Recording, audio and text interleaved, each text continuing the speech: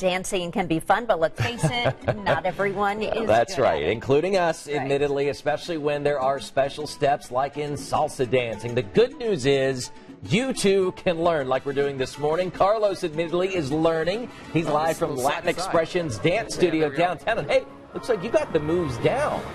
I'm trying, you know, because Normando is such a great teacher. He's an amazing teacher here. So this is we're gonna this is what we've learned today. So we got this is the bachata, the bachata right here. Let's go into the salsa right now. So we go. Salsa is is step forward. Step forward. There we go. Oh, this with this foot, and then like this. So we have salsa and bachata. So this can actually be a great workout too. Your boss says great workout. Mm-hmm. Oh yeah, he did some research in college, and he said that dancing in an hour burns more calories than all, basically all other exercises. Okay, and the great thing is you can actually pair up and dance with somebody as well. Okay, you guys pair up so you can learn the, the merengue, the bachata. This is the salsa dance they're doing back here. And you can see now, just so you don't get intimidated, these guys have been dancing for years. If you have no dancing experience whatsoever, you can come to Latin Expressions downtown and they will teach you these dance moves. In fact, Normando, you're, you're, you actually, you, you have a girlfriend, correct? Oh, yeah, yeah. He's off the market, ladies. He's off the market. But you actually, your girlfriend kind of got you into dancing, right? Yeah, she loved dancing, and so I had to get better. Uh, so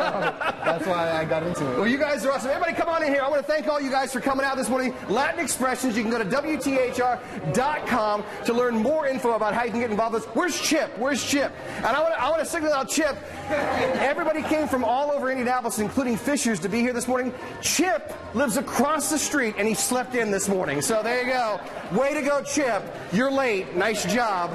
As you can see, it's a very fun activity, a great kind of camaraderie activity. Back to you guys. That's right, burning calories, having fun, learning some new moves. I love this idea. I'm glad you point out they've all been doing it for years and Yeah, years they because like, they are, uh, are really good. Hey, Chip, that's